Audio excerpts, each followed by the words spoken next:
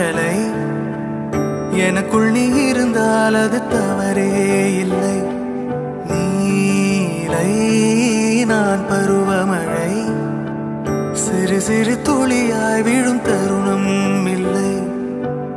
ஆழியிலிருந்து அலசி இழுத்தேனே. அடைக்கலம் அமைக்க தகுந்தவன் தானே. அடி அழகா